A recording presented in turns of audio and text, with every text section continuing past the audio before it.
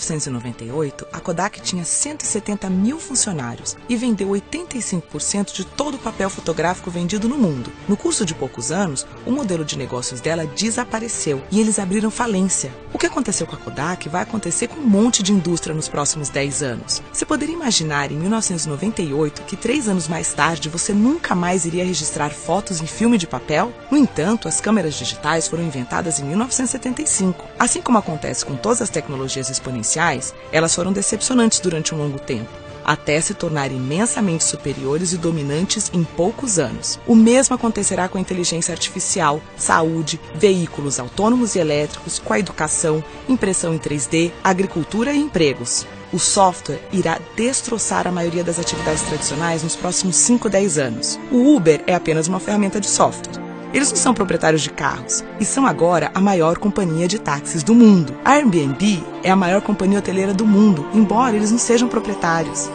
Inteligência artificial. Computadores estão se tornando exponencialmente melhores no entendimento do mundo. Nos Estados Unidos, advogados jovens já não conseguem empregos. Com o Watson da IBM, você pode conseguir aconselhamento legal com 90% de exatidão se comparado com os 70% de exatidão quando feito por humanos. Por isso, se você está estudando direito, pare imediatamente.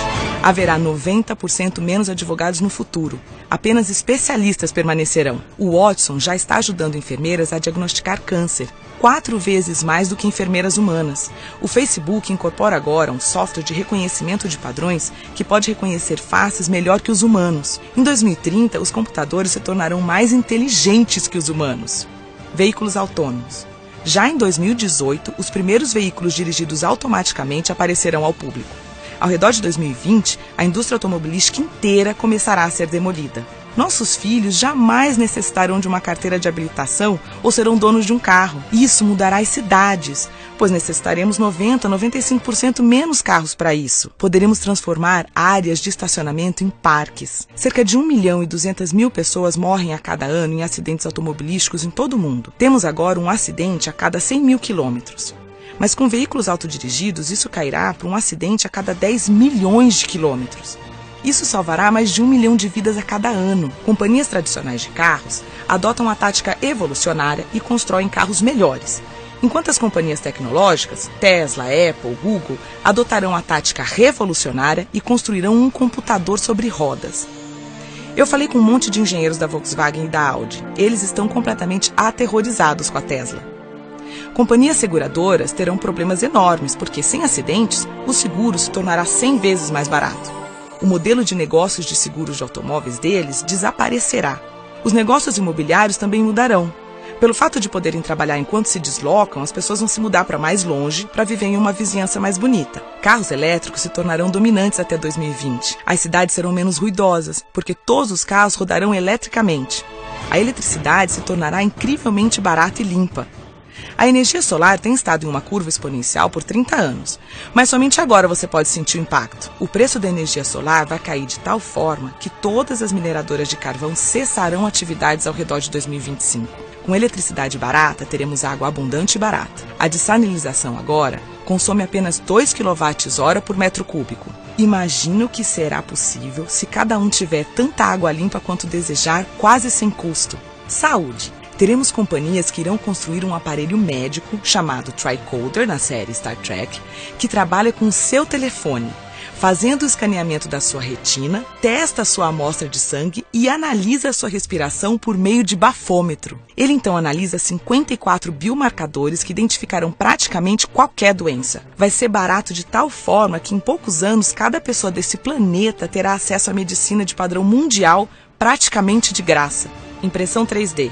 O preço da impressora 3D mais barata caiu de 18 mil dólares para 400 dólares em 10 anos. Nesse mesmo intervalo, tornou-se 100 vezes mais rápida. Todas as maiores fábricas de sapatos começaram a imprimir sapatos 3D. A estação espacial tem agora uma impressora 3D que elimina a necessidade de se ter um monte de peças de reposição como era necessário anteriormente. No final deste ano, os novos smartphones terão capacidade de escanear em 3D.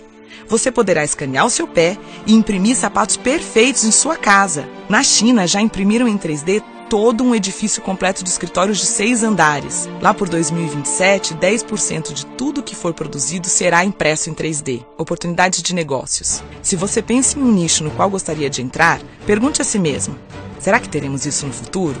E se a resposta for sim, como você poderá fazer isso acontecer mais cedo? Se não funcionar com seu telefone, esqueça a ideia.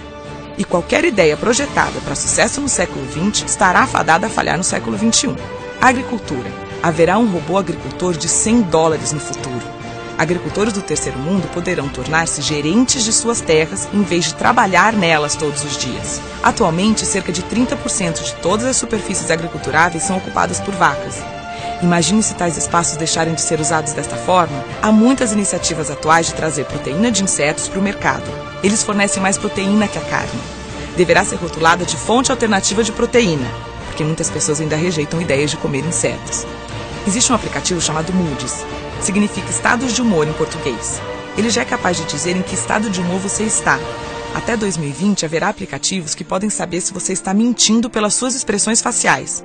Imagine um debate político onde estiverem mostrando quando as pessoas estão dizendo a verdade quando não estão. O Bitcoin, dinheiro virtual, pode se tornar dominante e poderá até mesmo tornar-se uma moeda reserva padrão. Longevidade.